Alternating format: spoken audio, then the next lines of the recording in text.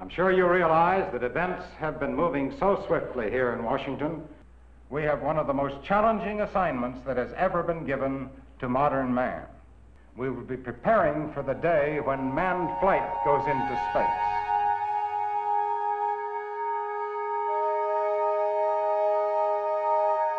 We want outer space to be a highway to peace and prosperity and not a road to war.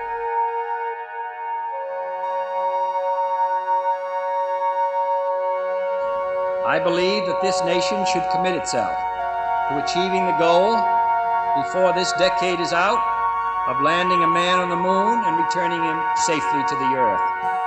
Firing command coming in now. We are on the automatic sequence. All the T minus 20 seconds and counting. Guidance internal. 15, 14, 13, 12, 11, Three. Go. Two. Go. Econ. Launch commit. Go.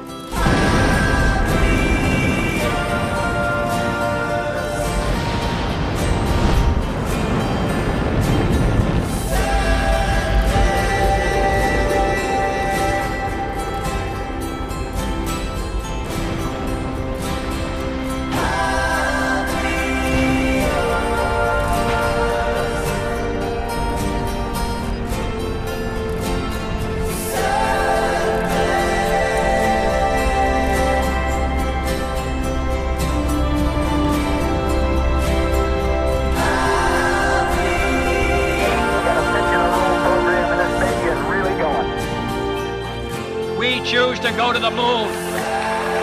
We choose to go to the moon in this decade and do the other thing. Not because they are easy, but because they are hard. Because that goal will serve to organize and measure the best of our energies and skills. Because that challenge is one that we're willing to accept.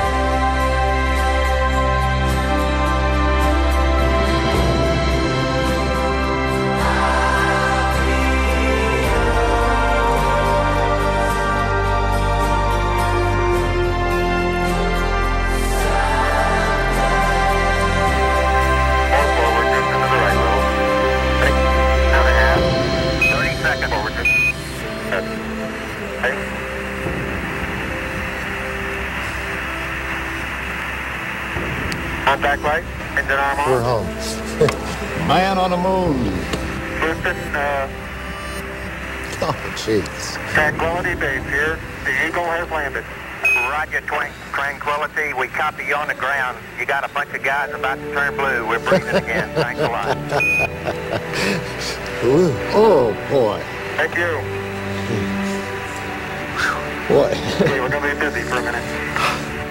Armstrong is on the moon. Neil they're above the limb Armstrong, 38 year old American, standing on the surface of the moon. On this July 20th, 1969. It's one small step for man. One giant leap for mankind.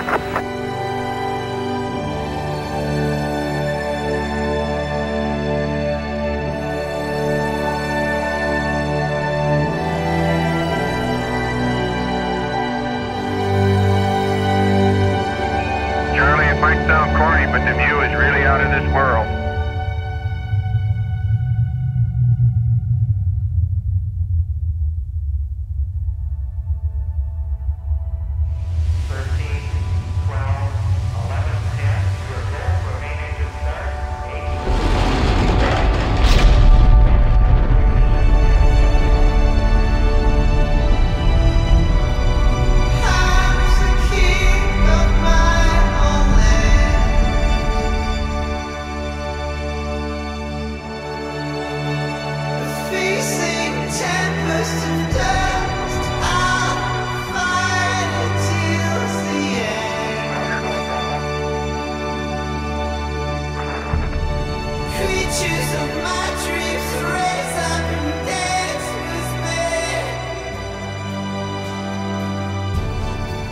We will never forget them, nor the last time we saw them as they prepared for their journey and waved goodbye and slipped the surly bonds of earth to touch the face of God.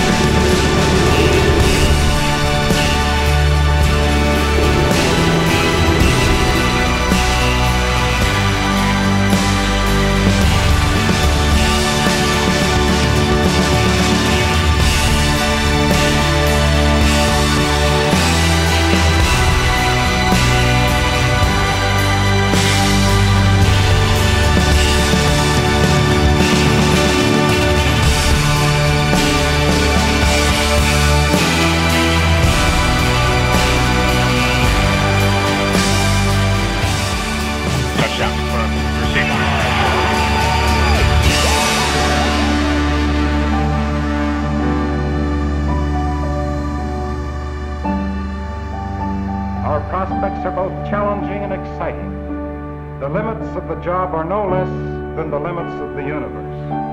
And those are limits which can be stated but are virtually impossible to describe.